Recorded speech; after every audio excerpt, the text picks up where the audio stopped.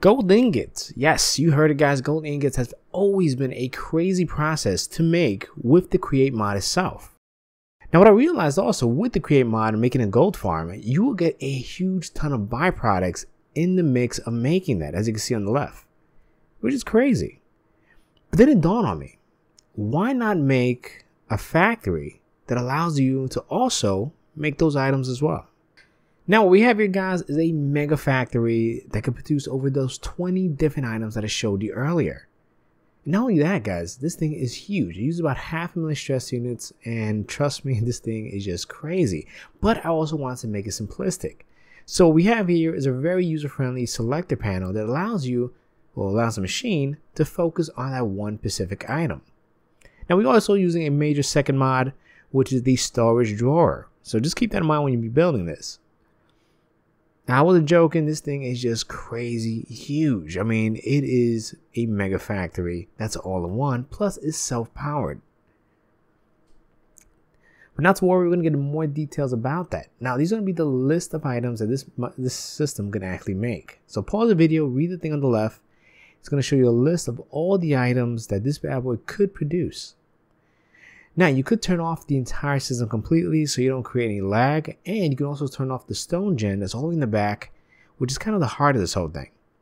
Now say for example you want to make iron ingots. All you have to do is press that button and you're going to notice right away that this thing is going to start producing just iron ingots on its own.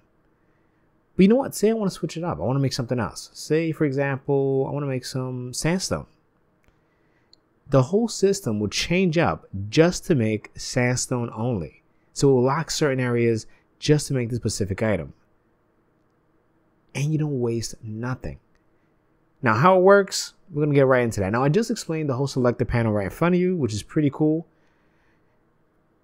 Now, the second part to this is we have the sand station, which converts sand and red sand into sandstone and cut sandstone. Now back here, in that little spot right there, we have a stone station, which converts stone into stone brick. And those are the rates you're going to get per hour.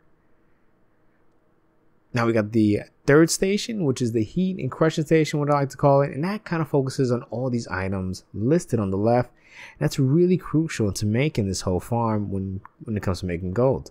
And we have the water and crushing station, which also produces a ton of really cool items right there. And like I said, guys, um, the cobblestone gen, or as I call it, the stone gen, it makes gravel and cobblestone at high rates, which is kind of the core of this whole thing. And to power this bad boy, we have a steam power system that makes about 655 stress units, which is way more than is required for this entire setup.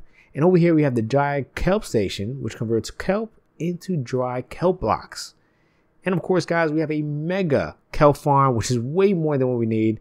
But I want to go big and just, you know, go that extra mile to make something extreme. Now, how that whole section area turns off and locks and kind of turns off certain areas. If you lock this, for example, with a redstone torch, as you can see, the cobblestone is going up there, right?